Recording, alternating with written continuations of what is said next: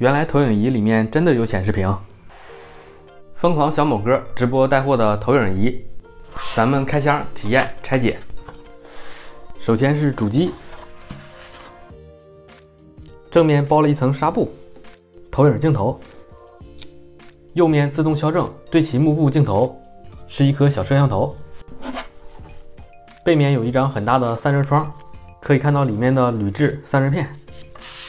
开关机按键，HDMI 视频输入，USB 输入，可以插 U 盘看婚礼录像。我平时拍完婚礼录像呢，都是给新人一只闪迪的 U 盘。网线输入，电源输入。看一下附件，电源线，支持语音的遥控器，十九伏六安的电源。接下来咱们开机联网激活。联网开机以后呢，直接显示菜单。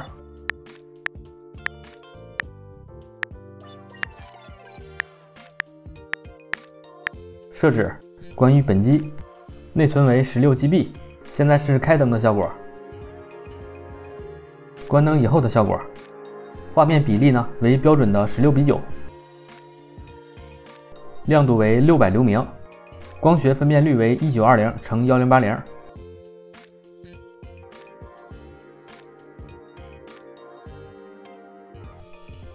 接下来咱们拆解，看一下内部。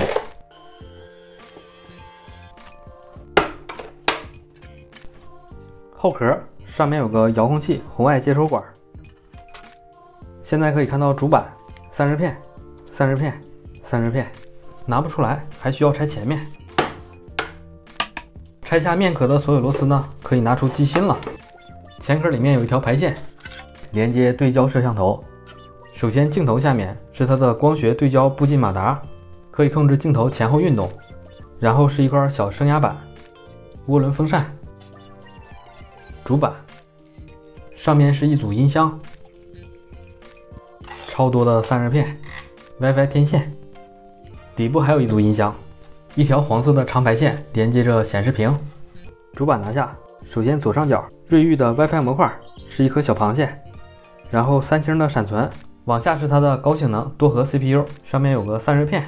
拿下散热片以后呢，可以看到是一颗 ARM 的 MSD 六 A 三五八，它的多核 CPU 以及 GPU。这里还有一颗耐伏的数字音频放大器，也就是它的功放。两路输出给两组音箱，两组音箱，扬声器，低音辐射器，它的被动发声单元。背光照明升压板，电容三十五伏，负责给背光灯升压。风之源的涡轮散热风扇，十二伏，零点五安。好，断开排线延长线。首先抽出的是一张 LCD 液晶显示屏，相对于普通液晶屏幕呢，分辨率要高一些，透光率呢也高一些。显示屏前面是一张偏振片，可以减弱反射光，使影像更清晰。再往前是一张菲涅尔透镜，可以将光源点变面，平行散发。然后是一张四十五度摆放的铝制反光镜，将底部的光源呢反射给透镜。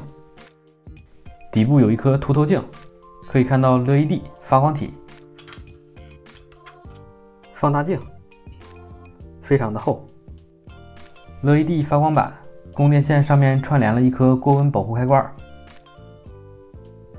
超过八十五度呢会自动断开，投出来的光呢就靠它发出。显示屏前面呢还有一张菲涅尔透镜，然后是反光镜，通过镜头投出，底部还有两颗涡轮散热风扇。结构看完，咱们裸机通电看一下。光源给反射镜，给菲涅尔，给显示屏，可以看到显示屏上面的内容，分辨率非常的高。然后给反光镜，给镜头，